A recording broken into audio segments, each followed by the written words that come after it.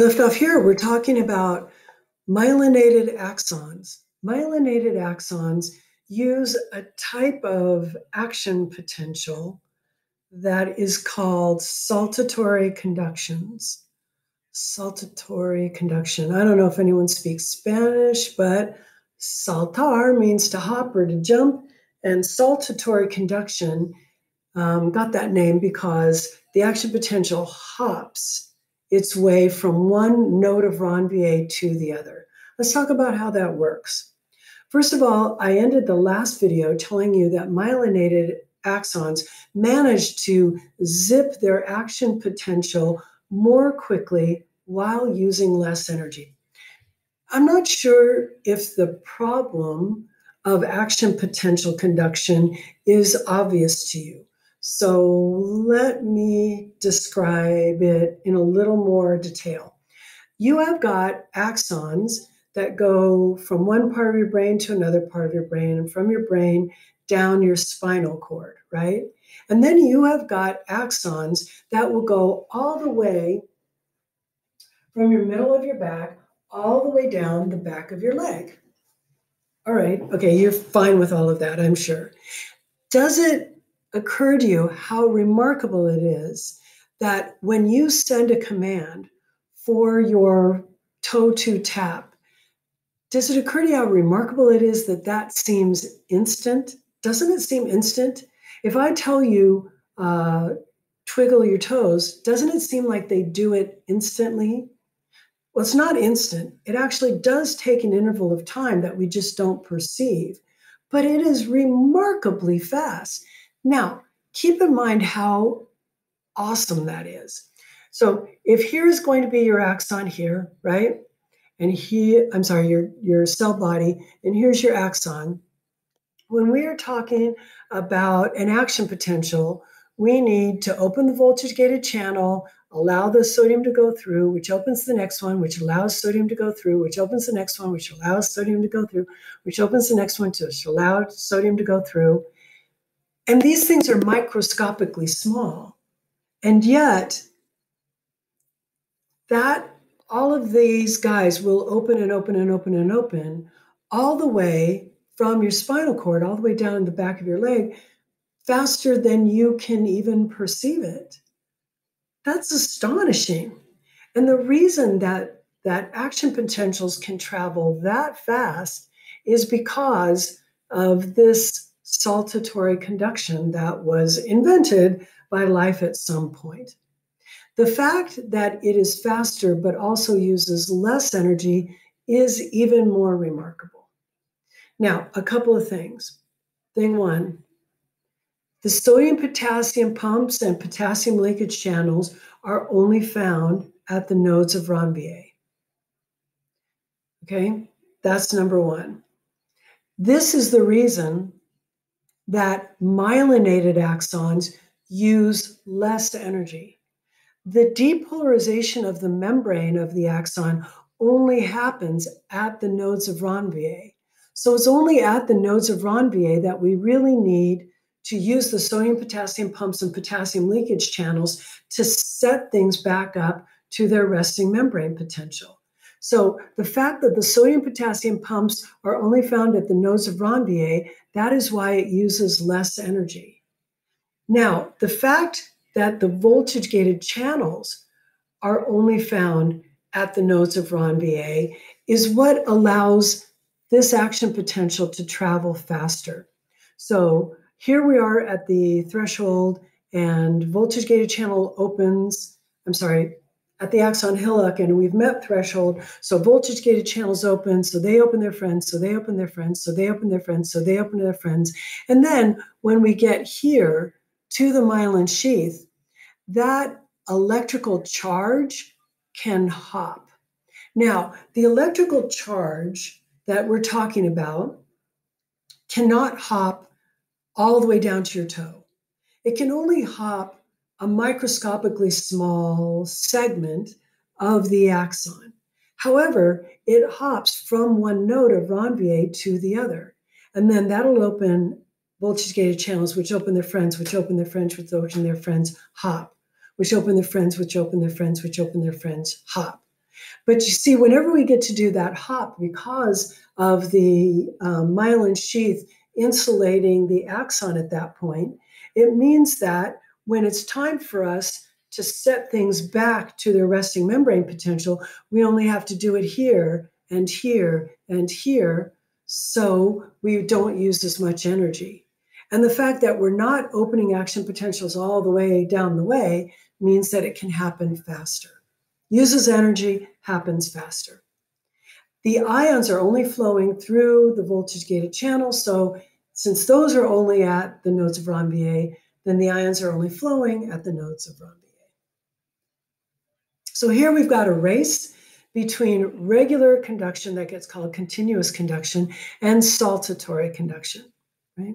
So we start the race, and as we start the race, everything is starting fine until we get to the end of the axon hillock. They're neck and neck. Now, at five seconds, this five milliseconds, this one is still just churning away, churning away, churning away. But this one has started here and it hopped, it hopped all the way to the next node of Ranvier. Right? Now, this one is still churning away, churning away, churning away, but this one is hopped, hopped, hopped, two more nodes of Ranvier. So if we look at 10 milliseconds, this continuous conduction is only about a third the way down. This saltatory conduction is two thirds the way down, and it's only one hop from the end. You know what's funny?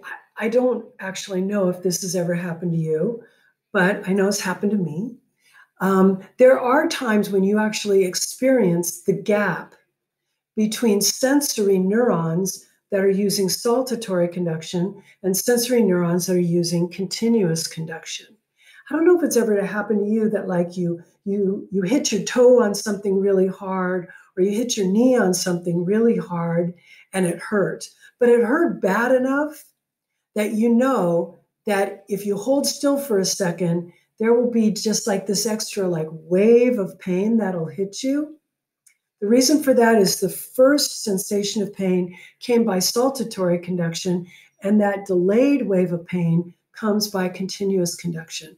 So there actually is a noticeable gap in time in the transportation speed of the two uh, neurons. Now, this is really important for medical situations. Here we've got our action potential hopping its way down the, the axon, down the nodes of Ranvier, and this is how things would know, know, normally happen. Now, remember, remember please that we will only find the voltage gated channels and the sodium potassium pumps here at the nodes of Ranvier. So we would say that the distribution of these proteins is patchy or clumped or something like that. It is not even, okay? So continuous would be the opposite of what happens here. This is not continuous. This is an uneven distribution. Here's the problem. The problem happens in diseases that cause demyelination. Demyelinating diseases are very often autoimmune, meaning your own immune cells are destroying your own Schwann cells, which is not right, shouldn't happen. It is a disease. Now, in the peripheral nervous system, when this happens, the most common cause is Guillain Barre syndrome. And if you've been listening to discussions of vaccinations for the COVID 19 virus, then you may have heard people mention that there was once a vaccine that was very effective, but it had a significant occurrence of Guillain Barre in people that were vaccinated. And we want to make sure that the COVID 19 vaccine does not cause Guillain Barre. Guillain Barre caused an autoimmune syndrome. And so you can see that these Schwann cells that were supposed to be here, that they are gone. And since they are gone, this is what's going to happen. The action potential is going to start going down the cell, but because these areas of insulation are not there, that electricity only can get so far and then it stops. So, what would you imagine would be symptoms of Guillain Barre? Symptoms of Guillain Barre would be a paralysis of those regions that are being uh, spoken to by those particular nerve cells, and it also can cause numbness, right? Guillain Barre has a tendency to be uh, temporary. People can recover from Guillain Barre, but we, we still don't accept vaccines that um, will um, make this happen, even in a very small percentage of the people who get vaccinated. That's that's why scientists are so cautious about rushing a vaccine into very wide usage. Now, demyelination can happen in the central nervous system, but when demyelination happens in the central nervous system, it will be because of damage to the oligodendrocytes, right? So the demyelinating diseases that damage this um, uh, myelin sheath don't generally damage the peripheral myelin sheath. And the most common demyelinating disease of the central nervous system is multiple sclerosis.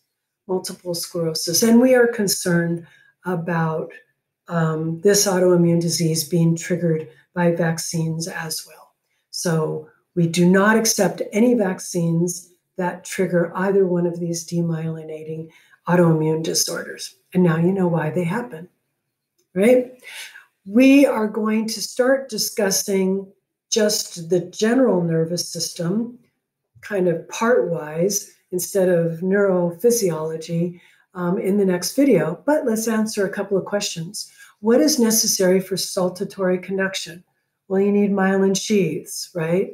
You do have a patchy distribution of voltage gated channels. They are only present in some areas, which means we only need sodium potassium pumps in those same areas.